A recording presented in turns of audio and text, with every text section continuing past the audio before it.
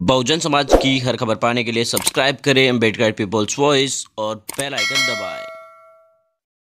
और फ्रेंड्स मैं उर्दुराम लोडीर आप देखना शुरू कर चुके हैं बेडगार्ड पीपल्स वॉइस। अब सवाल यह पैदा होता है कि एक बार नहीं, बल्कि कई बार देखने की कोशिश करें तो आखिर गरीब मजदूर पिछड़े आदिवासियों के लिए बसपा सुप्रीमो मायावती जी ही उनका दर्द क्यों समझती है? क्यों आखिर उनके लिए जो अपनी बातें हैं वो कहती है? आज देश के अंदर कोरोना वायरस के समय मजदूर जो है, प्रवासी मजदूर है अलग अलग राज्यों में जो फंसे हुए हैं, वो लोग अपने घरों को लौटने के लिए मजबूर है। लेकिन ऐसे हालात के अंदर सरकार किसी की भी तरफ़ ध्यान नहीं दे रही है। और आपको बता दें कि सरकार नहीं, बल्कि विपक्ष भी पूरी तरीके से सोया हुआ नज़र आता है। ज़्यादा से ज़्यादा बसपा सुप्रीमो मायावती जी, अखिलेश यादव के अलावा कोई और नेता बोलने के लिए भी तैयार नहीं है। आपको बता दें कि इतनी श्री यही कर ली जाती है कि हमने सरकार से ये मांग की है। लेकिन कुछ करने और बोलने की जो हिमाकत होनी चाहिए, लगातार हर मुद्दे पर अगर कोई बात रख रहा है तो वो बसपा सुप्रीमो मायावती जी है।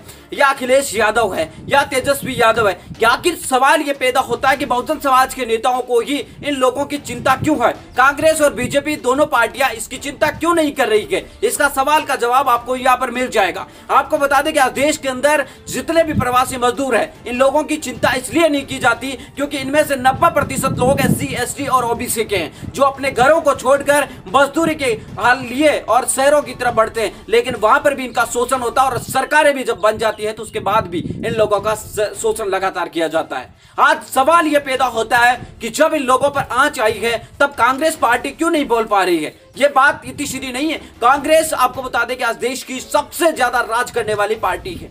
सिर्फ़ ट्वीट करने से या बयान जारी करने से कांग्रेस का काम नहीं चलेगा। कांग्रेस ने देश में सत्तर साल तक राज किया है। मजदूर यूनियन के लिए सीपीआई सीएम जैसे, जो सीटू जैसे बहुत सारे संगठन होते हैं, कम्युनिस्ट पार्टियाँ होती है, आखिर क्यों नहीं बोल रही है? ऐसे दावे करती है कि मजदूरों के लिए वो करते हैं, ये करते हैं। लेकिन आज जब हकीकत में मजदूर अपनी दुनिया की सबसे बड़ी त्रासदी से जूझ रहे तब उनके साथ इस तरीके का सुलूक क्यों किया जा रहा है? क्यों आखिर उनके लिए नहीं बोल रहे हैं? आज आपको बता दें कि बसपा सुप्रीमो मायावती जी ने केंद्र सरकार पर जमकर निशाना साधा। बसपा सुप्रीमो मायावती जी ने कहा कि जो गरीब है, मजदूर है, आज सड़क पर कुचले जा रहे हैं। उनके बिलकते हुए, रोते हुए परिवारों को देखकर बहुत ज़्यादा दुख होता है, दर्द होता है। इस जगह पर यह महसूस होता है कि आखिर इनके साथ ऐसा क्यों किया जा रहा है? आपको बता दें कि बसपा सुप्रीमो मायावती जी ने कहा कि सरकार आज देश में इतने दिन लॉकडाउन होने के बाद भी उचित प्रबंध क्यों नहीं कर पा रही है? बसपा सुप्रीमो मायावती जी ने केंद्र सरकार और राज्यों की सरकारों से अपील की कि इस मामले के अंदर जल्दी से जल्दी ठोस कदम उठाए जाए और जो गरीब, मजदूर, प्रवासी लोग हैं, उनको उनके घरों तक पहुँचाने का काम करें।